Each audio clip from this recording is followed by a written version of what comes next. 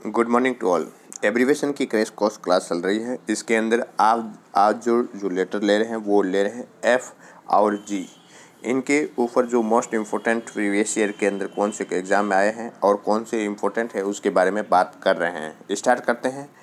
देखिएगा। सबसे पहले है F S W female health worker female health worker ये बहुत ही इम्पोर्टेंट है और बहुत सारे एग्ज़ाम में आया हुआ है। तो इसको वी वी आई के अंदर डाल दीजिए। V V I very very important ये आपके एग्ज़ाम के अंदर आएगा। फीमेल हेल्थ वर्कर ये 2014 2014 एंड 2015 के अंदर ये आया हुआ है। तो ये बहुत ही इम्पोर्टेंट है। तो इसको आपको याद रखना है। Female health worker female health worker next देखिएगा। दूसरा है दूसरा है F B D fibrocystic breast disease fibrocystic breast disease उसके बाद में है next F R U first referral unit first referral unit ये इंपॉर्टेंट है, आ भी सकता है, इसको भी वी वी आई के अंदर डालिए। फ़र्स्ट रेफरल यूनिट यदि ऐसा क्वेश्चन की बात करें तो फ़र्स्ट रेफरल यूनिट कौन सी है? सी सी एस सी है ना? Community health C S C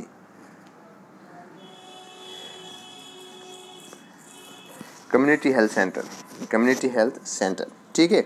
उसके बाद में ये इम्पोर्टेंट है, इसको भी VVI के अंदर दीजिए। नेक्स्ट देखिएगा।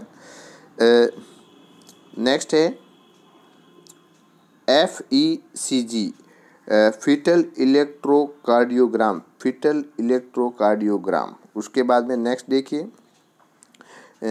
F F T P failure to progress failure to progress उसके बाद में है नेक्स्ट है F B M F B M F B M F B M ये वाला।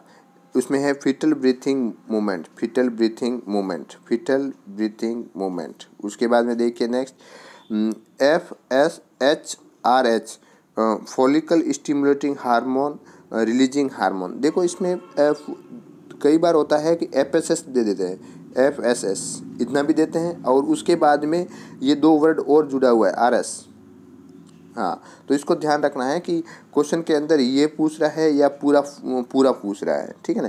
ये वेरी वेरी इंपॉर्टेंट है, ये भी एग्ज़ाम के अंदर आया हुआ है 2015 के अंदर आया हुआ है तो इसको अच्छे से याद कर लीजिए।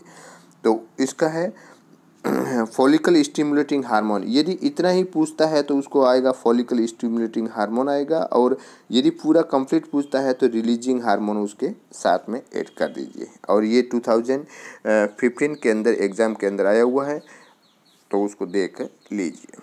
ठीक है? नेक्स्ट देखिएगा। 2015 के अंदर आया हुआ है। Next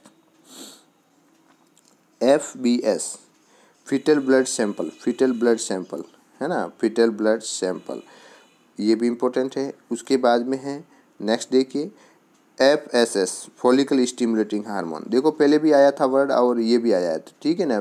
तो यदि कंप्लीट है तो उसको पूरा लिखना है और यदि, देखो, ये वाला और ये वाला सेम है बट उसमें आर एस को एक ऐड किया हुआ है, ठीक है? उसके बाद में नेक्स्ट देखिएगा next F S fundal height fundal height F R C female reproductive reproductive cycle है ना?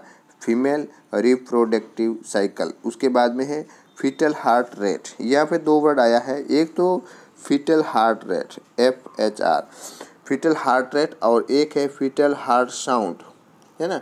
तो यदि रेट आता है तो रेट लिखना है साउंड आता है तो साउंड लिखना है। ये बहुत इंपॉर्टेंट है। ये फीटल है, है फिटल हार्ट रेट ये आया हुआ है टू थाउज़ेंड थर्टीन के अंदर। और fetal heart rate fetal heart rate two thousand thirteen के अंदर एग्ज़ाम में आया हुआ है। और fetal heart sound two thousand fifteen के अंदर आया हुआ है और सेवनटीन के अंदर आया हुआ है। टू थाउज़ेंड सेवनटीन के अंदर आया हुआ है। तो ये वर्ड इम्पोर्टेंट है तो इसको आपको याद रखना है। नेक्स्ट देखिएगा F B fundal pressure F P fundal pressure. क्या है? Fundal pressure. उसके बाद में F S S fetal heart sound ये वाला जो है, जो फिटल हार्ट साउंड इसको याद रखना है। ये 2015 और 2017 के अंदर एग्ज़ाम में आया हुआ है। उसके बाद में है father of baby F O B father of baby है ना? फादर ऑफ़ बेबी और मदर ऑफ़ बेबी है ना? मदर ऑफ़ बेबी तो ये आपको थोड़ा टर्म याद रखना है।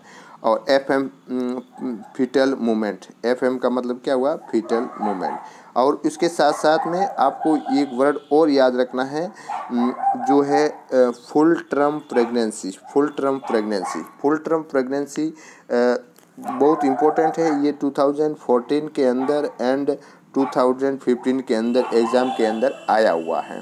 तो ये है अपने एफ़ से रिलेटेड अब देखिएगा जी से जी में है जी का मतलब हुआ ग्रेविडा उसके बाद में G Y N G Y N मतलब गाइनोकोलॉजी और C B G B S group B streptococcus और G F R general fertility rate और G T T glucose tolerance test और G I F T gamete intra fallopian intra fallopian transfer और G T O gestational trophoblast disease और G N R S, gonadotropin releasing factor, ठीक है जी, या फिर releasing hormone होगा, ठीक है ना? फैक्टर नहीं होगा, हार्मोन होगा।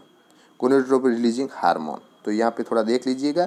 अब देखते हैं जी के अंदर कौन कौन से इम्पोर्टेंट है उसके बारे में। जी के अंदर क्या क्या इम्पोर्टेंट है?